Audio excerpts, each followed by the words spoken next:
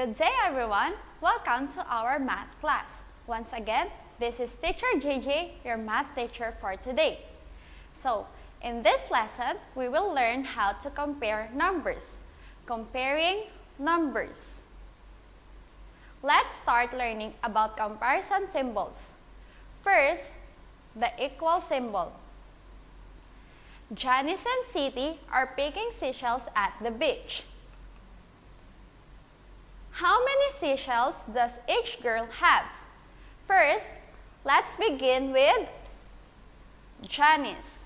So, Janice have one, two, three, four, and 5. How about City? City have 1, 2, 3, 4, and 5. They have an equal numbers of seashells. So what is the symbol for equal? The equal symbol is written as, so we can write 5 is equal to 5. On the next day, Janice and City collected seashells again. So let's take a look how many seashells they got. So Janice got 1, 2, 3, 4, 5, and 6. How about City? City got 1, 2, 3, 4, and 5. So therefore, we conclude that Janice has 6 seashells and City has 5 seashells. Janice has more seashells than City, so 6 is more than 5. While City has fewer seashells than Janice, so 5 is less than 6. The number of their seashells is not equal. So 5 and 6 are not equal. Let's have another examples more than is written as the greater symbol, the greater than symbol.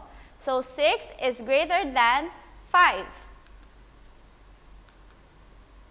Less than is written as less than symbol. So 5 is less than 6.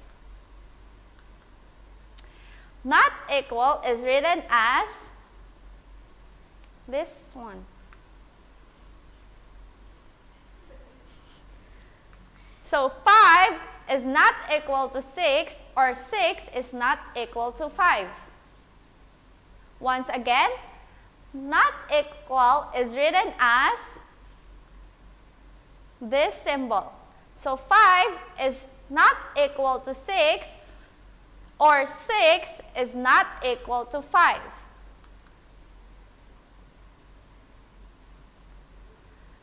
Let's have another example. We can use the mouth of an alligator to represent its symbol.